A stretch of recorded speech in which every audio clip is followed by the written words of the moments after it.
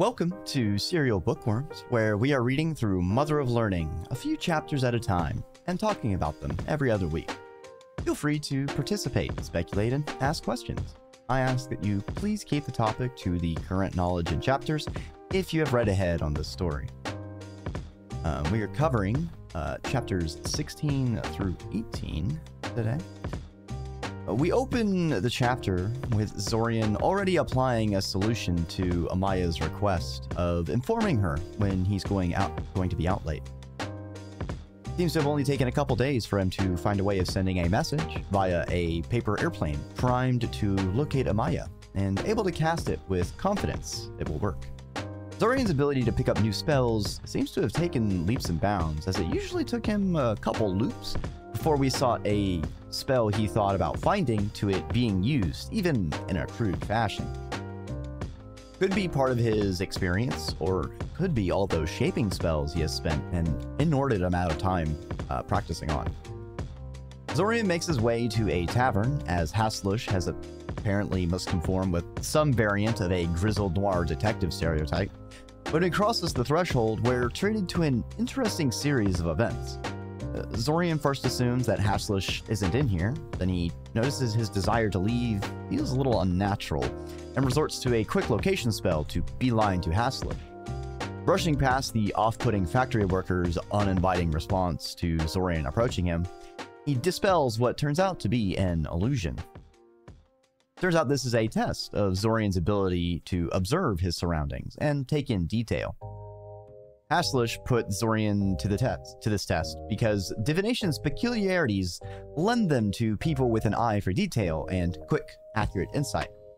You may know how to ask a question, but you still have to know if the answer you get is wrong and whether it can be trusted. Although Zorian handily beat the test due to his mental resistance training with Chiron for the past few loops, Haslush then moves forward with a second phase. He blacks out Zorian's ability to see the surroundings and questions him on specific details the number of people, how many of an object are along a wall, etc. While the specifics are quickly glossed over, uh, it's a very good example of why eyewitness testimony is not as ironclad as movies and other media make it seem. The mind fudges a lot of our memory, and that can be even worse during a stressful or boring series of events.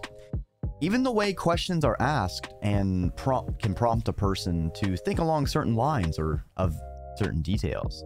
A very interesting line of psychological study. Hashlish tries to gauge Zorian's divination experience and is floored when Zorian already has North Finding under his belt, on top of his suite of library search tools. This handily shortcuts the homework Hashlish had prepared, and so he skips directly to object analysis. Hashlish disgorges an array of random items from a sealed envelope to some kind of giant nut. Hashlish gets into the lesson, and Zorian is quite happy with the results. But while Zorian is kind of talk up Hashlish, he forgets that he's dealing with an expert interrogator here, and the investigator cuts to the chase and asks what the heck Zorian wants. For a brief moment, uh, privacy wards go up, and Zorian drops the information about the invasion into Cyoria. War trolls smuggled in, the city bombardment, the whole gamut as he believes Hashlish is actually kind of highly placed within the agency. Hashlish is tempted to bring Zorian in for interrogation, but waves off the concern, as Zorian can simply claim it was a prank. We get a nice little tidbit of how the Mage Guild has a separate system of law enforcement, as they don't trust civilians to judge them fairly. Hmm. Seems there is a slight adjustment to the typical feudal formula of the monarchy, the nobility, and the church. There's a fourth faction, the Mages Guild. I uh, kind of wonder how that perhaps shakes up the usual power balance, because if you have three major factions, you have like a bit of a tripod, and then you can sort of have like a two versus one versus in certain um, alignment of interests. But with four factions, you can have a bit of a deadlock, a bit of a draw 2v2 situation, and that could be dangerous depending on how things work. Zorian leaves the tavern and heads back home to Amaya's place. To which he gets an earful as, though his paper plane successfully brought its message to her, it rammed right into the back of her head. That's so dangerous. What if it had hit her in the face and poked out an eye? Zorian, have much more consideration of your landlord. Some people can never be happy. You, the sitcom stinger, and the laugh track. We cut to a cozy domestic scene. Uh, Kirielle is doodling while Zorian is practicing his levitation on a snail, which is a step up from the inanimate pens due to living creatures having inherent magic resistance, but also due to it fighting against the effect by wiggling around. I think this is kind of a fun tidbit how Zorian is actually specifically levitating the shell of the snail rather than the whole snail itself. And it's particularly interesting that spells can kind of be targeted with such granularity rather than like whole objects. And I kind of wonder how specific or broad that can be. Uh, can he try and levitate just the hand of someone, just their legs?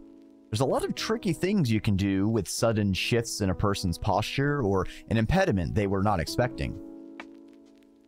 I think this could be a hint at Zorian's possible development of a more finesse-based combat style, as he's already ruminated that he'll never match people when it comes to the raw magic power department. Turns out him and his sister are waiting for Kael, as he's giving a bit of a catch-up tutoring lesson to Kael, and Kirielle wants to sit in and learn as well. Zorian thinks about not taking Kiri to Cyoria too often, as it does take up a bunch of his home time he could rather spend studying. But as a once in a while thing to take it easy, kind of nice. We skim through Zorian giving touch points on the curriculum the first two years of the Academy, memorization of chants and gestures, intros to magical traditions and disciplines, biology, history, geography, law, mathematics. I think it's kind of interesting that they specifically are teaching law to kids, as well as introducing them to different cultures. Uh, I certainly think law and finance are woefully undertaught in uh, curriculum, despite their importance in day to day life. At least the school I have gone through. Hyven interrupts everyone, bursting in with a breaking news headline. Apparently, Zach killed an infamous mage dragon named Oganji, who had occupied northern Altazia for over a century. Looks like we now know what was killing Zach all these past loops. Zorian is baffled at what Zach did it for. Draconic magic is no use to him, and the time loops mean nothing with the hoard, so it's the value of it doesn't matter. Um, he starts speculating on how Zach could have gone from struggling to pass the mage exam to slaying a notorious dragon, and Zorian shamelessly toss out, tosses out time travel. Good to know Zorian hasn't lost his sense of humor. Hey, start Still, Hyven lays out some bait for him, and Zorian considers telling uh, them about the time loop. He already told Hashlush about the invasion, so what's the worst that could happen at this point? Hyven doesn't buy what he puts down and leaves shortly after. Kael and Kirielle, however, actually believe him. He goes through explaining events, and Kirielle sums it up. So you are a time traveler, but you can only go one month into the past and only until one specific day. Set Kirielle carefully. And you don't control any of it, except by deliberately killing yourself. You are the lamest time traveler ever, Kirielle opinionated. Leave it to a younger sister to uh, summarize complex events. We jump ahead a few days, and Zorian is actually a bit disappointed by their reactions. They ask him questions whenever they can, but they don't really change their reactions much. Kirielle mostly critiques how he's still going to school throughout all of these loops. Kael takes Zorian aside and brings up that he's been researching the situation. Turns out Kael has managed to locate the likely spell that Lich used on Zorian oh so long ago Soul Meld commonly used to create familiar bonds and other soul bonds in general. After learning this, Zorian has a sudden realization and asks Kael if he's a necromancer. Kael helpfully clarifies that he does not enslave the dead or curse people, but there is more to soul magic than that. And it turns out Kael's old mentor knew a little bit of necromancy and wanted to pass the tradition on. Very interesting. Too bad Kael's mentor has already passed on. They try and do some diagnostics, but Kael is an amateur, and whatever is going on with Zorian's soul situation is quite advanced. Never one to pass up another card to add to his deck, Zorian asks if Kael would teach him a bit of soul magic. Unfortunately, to really learn soul magic, you need the ability to perceive the soul to a certain degree, and that can only be gained by a special potion that can basically only be made once every 23 years from a very specific species of moth when it pupates. Well, that or extremely illegal and morally heinous spells involving human sacrifice. Yet Zorian doesn't wish to use the latter option. He's lost in his thoughts over what he has learned and heads back to his room. When he enters, a familiar presence brushes against his mind, and he panics. So you are open? A voice resounds in his mind, clear, unlike the chaotic noise and images like last time. Interesting. You have met one of us before? This will be easier than I thought then. A spider, no bigger than his chest, leaps onto his bed. It looks kind of similar to a jumping spider. Greetings, Zorian Kazinski. The spider spoke telepathically. I have been wanting to meet you for a while now. You and I need to have a long, long talk. Oh ho. It looks like those telepathic spiders have decided to meet him. We open the next chapter with Zorian in a bit of a situation. The spider seems to have paralyzed him, purely mentally, basically locking him out of controlling his own body. We get an amusing byplay of Zorian thinking about something and the spider responding to it as Zorian had said it. The spider amuses that Zorian is untrained and isn't surprised considering how humans treat mind magic. Zorian finds himself confused. Spider clarifies that Zorian has the gift, and that's in all capitals. It points out that Zorian can feel the emotions of others, a telltale sign of empathy. Zorian denies it, citing his antisocial tendencies. Of course he couldn't be an empath. The spider retorts with effectively a mental and verbal equivalent of a eye roll, saying how all Aranea are open, but some are still loners. The spider says it's a matriarch and has come to find why Zorian has issues with their web and sicked enforcers on them. Zorian is initially confused before realizing the rumor mongering he started to keep Taiven alive seems to have uh, seems to have had other ripple effects in the world. Zorian tries to think of a way to explain things to the spider without revealing too much, only for the spider to chime in. I suppose this is something related to this time loop you're trapped in. Then, the spider asked innocently. It's difficult to convey uh, exactly how smug the spider seems while controlling the conversation. It's very clearly someone with great amount of experience and thorough in its planning. It had actually been monitoring them for a while before it dropped in on Zorian, and it had easily lifted information from Kael and Kirielle as they were not open. Again, this is capitalized, so it means something specific, though we don't know what yet.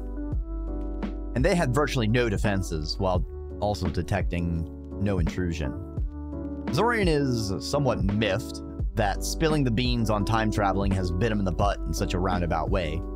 The spider is exasperated at Zorian's constant thoughts of the spider as a hostile threat. I know our kind looks threatening to your eyes, but please stop thinking of me as some slavering beast out to eat you or some sadist intending to torture you into insanity for absolutely no reason. We're no worse than humans, really. Which, uh, Spider, uh, how many humans have you met? There's some pretty terrible peoples. Zorian wonders why the spider cares, since the enforcers will get tired of searching and none in the web have been harmed. The spider clarifies that after spying on Zorian's little group, it has learned something vastly more concerning. It's being memory wiped at regular intervals. Zorian points out that he doesn't feel comfortable chatting with the spider considering the current situation. You know, him paralyzed, unable to move in his bed, spider standing in his bed, looming over him, talking to him telepathically. Kind of got a bit of a night terrors, paralysis demon kind of thing going on. Ugh, a little concerning. The spider bluntly points out that it doesn't trust him, and it hasn't lived this long by underestimating mages. Hmm. Classic standoff. The spider, however, decides to leave him. Zorian is a bit confused since there isn't any reason for him to track down the spider later. But the spider dangles some tantalizing bait in front of Zorian. She can tell that he's interested in what it means to be open. Mm, Secondly, the spider has some important clues for him to figure out what's going on and how to get out of the loop. And finally, working with the spiders isn't going to be the slog he assumes it is. I'm a leader of a shadowy group of mind-reading spiders that have their feelers throughout the entire city. Surely you can see how a group like that could be useful in making sense of this event? Point, match, set goes to the spider. Zorian understands the totality of what is on the table. The spider effectively saunters off by gently suffusing his mind until he goes a little eeby sleepy for a few minutes. The spider is gone when he regains consciousness. Zorian considers it, but decides he doesn't really have a choice. He would need to go to the spider. He has no intention of rushing as soon as possible. He'd make preparations. Now that he had a name, Aranea, his search on telepathic spiders could be much more focused. He ends up finding a number of books ascribing many different magical abilities to them. Either there's many subspecies of Aranea, the authors are making stuff up, or the Aranea were multidisciplined mages with a flexible magic system.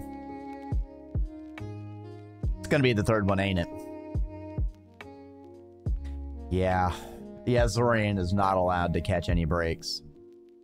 Zorian also wanted to get some answers to the spider's claim that he was an empath. Zorian had noticed that his landlord had an interest in many esoteric magics from her bookshelves. He figures it was worth a shot to ask if she knew any ways of checking for empathy. Amaya wonders why he thinks it's unlikely after being told by another empath. He counters that it should be obvious to a person with empathy. Right? She points out that it's very easily to have false positives because empathic tells, like knowing a person's feeling and mood, could be inferred by other tells. She inquires if he's ever had an instinctive feel about a person he just met. Zorian basically always does, and it tends to be accurate. This is unusual? Oh boy. This is a fascinating topic of perception. The things we experience we often take as a given and assume are the same to others. It can be as simple as a culture shock of tea served in on ice instead of steeped in hot water. It could even be as big as things that are medically concerning, but you know, you've always lived with it, and uh, you thought everyone else did too. Zorian tries to justify his sense that it's just some people have intense personalities. It's easy to read them, you know? Amaya doesn't buy it. She asks some further questions about groups of people. Zorian casually comments about, yeah, they have a people give off like a big pressure. That's why he tries to avoid them. He think it's a headache if he's near a large group? Heck, his headache is even worse when it's a large, emotionally charged group of people. Amaya summarizes the situation. Your empathic abilities are so strong that you literally feel the emotions of the crowd as tangible mental pressure bearing down on you, said Imaya after watching him pace around for a while, and you think there is nothing to indicate that you're an empath. Zorian is exasperated. How was he supposed to know what the pressure was? It was always there. Seems like Zorian now has another skill to go down the road of learning. This loop is paying dividends, if the dividends are a multiplying hydra of side quests. We cut to an interminable time later with Zorian and Kael at the sewers, heading out to meet the spiders. Seems Kael took great umbrage at the unethical use of mind magic the matriarch used on him to glean information from his thoughts. Kael has used a mind shield spell, so the spiders likely couldn't connect to him like Zorian, who's staying open. When they finally meet the matriarch, Zorian asks if she could speak out loud instead of mind to mind, so as to include Kael. The spider seems to cast a spell, then explains that she is using something like a magic mouth spell, a sonic illusion. We have a brief back and forth between the matriarch and Kael, arguing about mind reading and customs. It seems non psychics, called flicker minds by the matriarch, are considered fair game, and there's a bit of an undertone of derision in the term she uses uh, when she says that. Zorian gets everyone back to the subject at hand the time loop. The matriarch wants in on the time loop, not physically, since Zorian does not yet have the ability to include people, but she can make a packet of memory and store it in Zorian's mind if he allows. This will effectively let her continue her thoughts across time loops. Kael kind of wants something similar. We get a name for the matriarch, a series of images and concepts. Zorian tries to interpret them and arrives at Spear of Resolve striking straight at the heart of the matter. Bit of a mouthful in pure text, but I absolutely adore more poetic names. And honestly, it makes a lot of sense for a group of sapients focused more on mind to mind connection and sharing their language and entire concept of self identity via a name is influenced by what they have available. You know, they're telepathic, they don't have written things written down.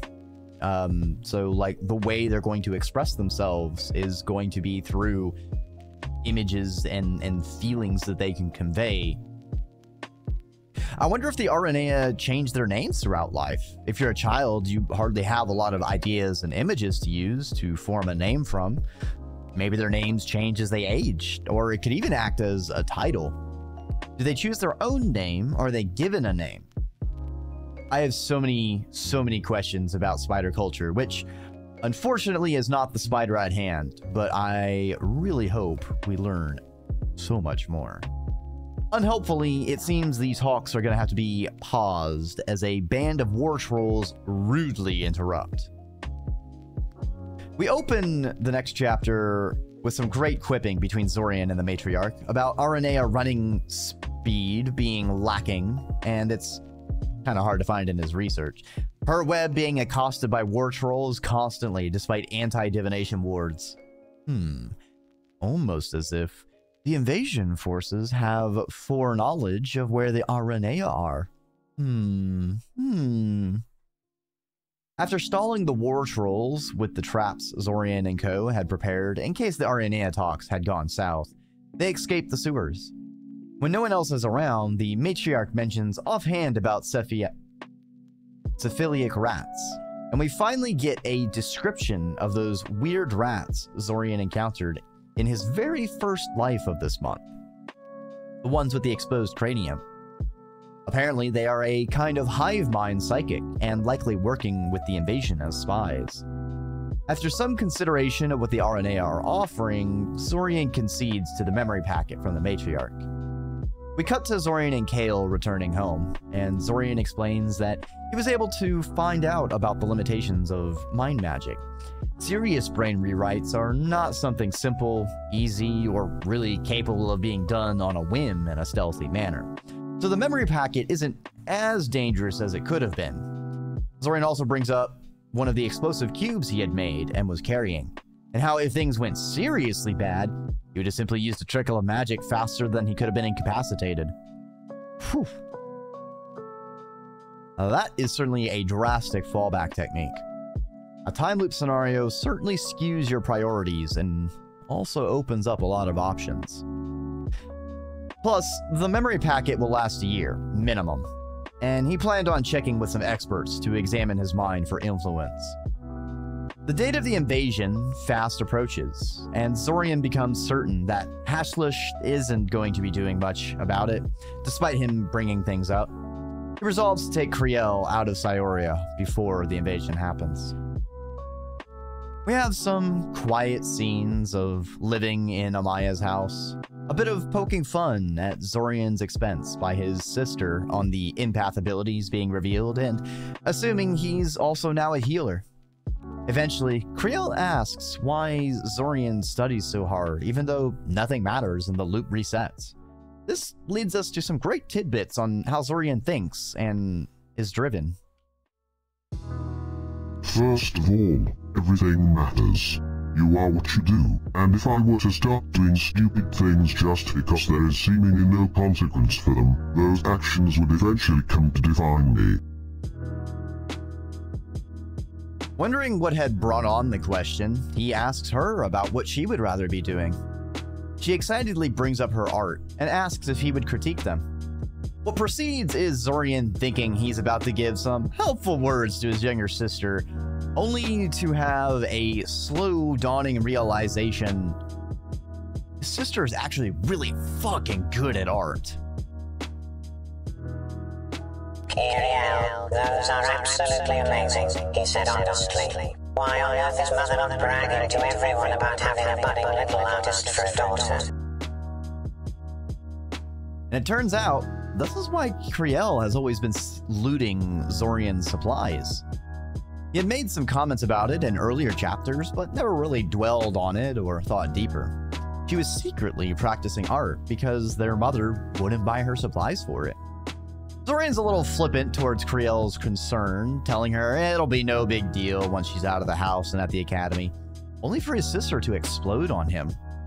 You're away from her most of the year and she can't do anything to you while you're away. I'll never get to do that.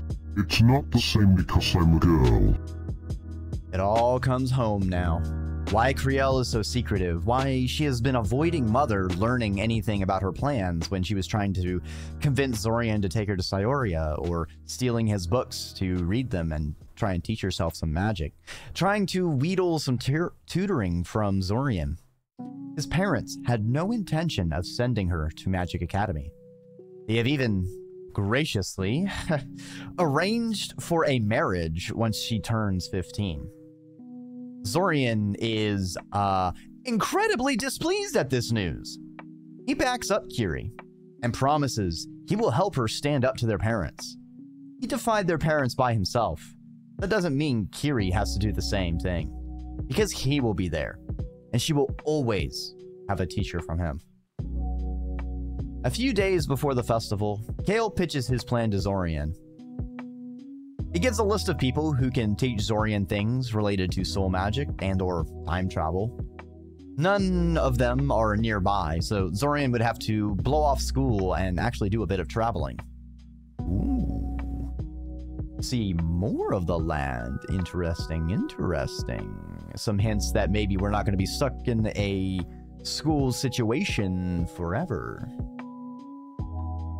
They all board the train as the loop comes to an end, and Zorian wakes up once again at his home in a new loop.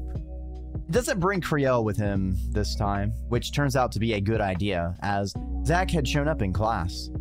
It takes six restarts where Zorian has to lay low to, to Zach approaching him, only practicing shaping skills and other miscellaneous things that are unlikely to be noticed by Zach or make a huge splash. Finally, the seventh loop since bringing Kirielle back to Cyoria, Zach leaves Zorian well enough alone. And it's time to get down to business. And that is where our chapter recap is going to come to an end today. Now, um, because of a lot of things in these chapters dealing with memories and mind magic. Um, and we had at the start the sort of detective quizzing him on various things after cutting off his vision. I think it'd be interesting to perhaps talk about um, things about uh, uh, uh, there there was a there was a paper I was reviewing because I I remembered some things from it, and it's um, if you want to read more, it's called Eyewitness Testimony and Memory Biases, and the authors are Cara Laney and Elizabeth Loftus. And there's some really interesting things, it, as I mentioned earlier, regarding memory and psychology. Um, and they identify a lot of interesting experiments and ways that sometimes our mi- our minds can trick us. Um, they bring up a a simple experiment of uh, sort of how like how leading questions sometimes can lead to false memories, where they had like a red car pass a yield sign, but in the clips that the people were shown, it wasn't a yield sign; it was a stop sign. And then later, they showed another bunch of clips to those people. Um, and some of the clips had the stop sign, some of the clips had a yield sign this time. And then they were told to pick out which of the clips was like the original. And the people who had gotten the leading question more often were incorrect because they were kind of primed to assume it was actually a yield sign. There's also some interesting bits when it comes to the very movie stereotypical. They have the the perp lineup where they have a bunch of people line up and then they have someone, uh, they have the eyewitness, you know, pick out who did whatever is being um, discussed. But there is still a lot of potential problems that can come about that from the details of the witness um, experiencing it. You know, they may not have perfect 2020 vision. You know, there may have been a lot of time between seeing whatever the event is and then being um, brought in to try and point out um, a person related to it. Um, the phrasing of the instructions could um, indicate things. You know, if uh, the people lined up have anything particularly noteworthy that could perhaps draw the eye or be particularly memorable, can bias a person in thinking of them incorrectly as someone who was present or not. Um, and another uh, interesting bit is also identifying someone who isn't uh, a, a, similar race to your own or um, a race that you didn't grow up around. And that is also reflected if you follow anything regarding facial recognition or things like that. Um, it's very common for US based facial recognition software to only really be effective against um, Caucasian peoples. And in a bit of a similar, you know, local bias, uh, Chinese facial, facial recognition software tends to be mostly only effective against um, those more Asian um, look presenting. And it's like these systems used to identify people, you know, there are these base inherent biases that it's very hard to actually control for. And the mind and memory are very complex things. There's also a very interesting thing they bring up um, about brain schemata because basically, you know, our everyday lives, there's kind of a lot of patterns that we go through, a lot of familiar things, a lot of familiar spaces. And so, what our brains will actually do to try and save time or, you know, save energy, you know, because thinking is an expensive process biologically, um, is it will kind of like save a template. So, an example, like, you can just remember a library. It has shelves, you know, there's tables, you got librarians, you don't really remember specifics of any particular library. You just know hey, that's a library. But whenever you're recalling a library, are you recalling that specific library? Or are you just recalling the schema, the general shape of a library that you have saved in your mind? Hmm? Hmm? There can even be an entire subsection related to things like false memories, which I feel is is a whole whole topic in and of itself. Um, you know, descriptions of plausible events, and then people form assumed memories, even though they never did actually experience that event. And I think a very poignant one line um, that I pulled out of that paper that I, I think is is very important to consider. A memory is no less memorable just because it is wrong. I think I think that's I think that's a nice little one-liner because it is extremely true.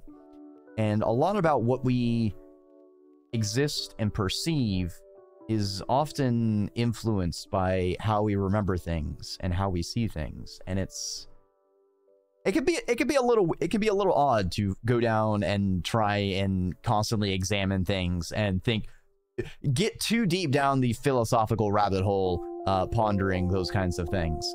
Um, but with the story starting to introduce mind magic and you know memory reading and memory storage i feel like it's going to be a good thing to keep in mind for us the ways that minds can be tricked the way that the mind can be wrong, and perhaps the ways we need to pay attention to what might be happening, either described in the text, what's not said by what's happening in the text, and things that seem to be changing oddly from one description to the next in the text. I think that's going to be it for Serial Bookworms today. Uh, the next meeting is going to be on the 13th of April. We'll go over chapters 19 through 21.